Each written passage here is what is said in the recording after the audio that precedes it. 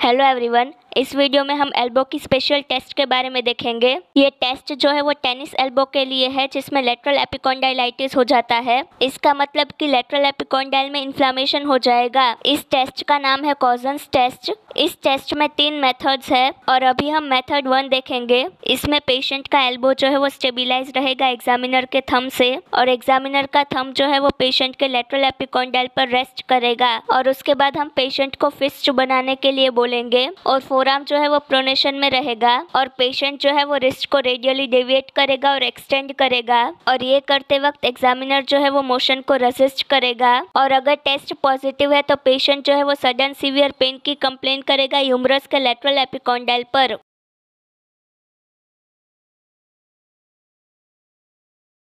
अब हम देखेंगे लेटरल एपिकॉन्डाइलाइटिस को टेस्ट करने का मेथड टू और इस टेस्ट का नाम है मिल्स टेस्ट इसमें एग्जामिनर लेटरल एपिकॉन्डाइल को पाल्पेट करेगा और फोराम को पैसिवली प्रोनेशन में लेकर के जाएगा रिस्ट को फुल्ली फ्लेक्स करेगा और एल्बो को एक्सटेंड करेगा। अगर ऐसा करते वक्त पेशेंट को पेन होता है दैट मीन्स की टेस्ट पॉजिटिव है।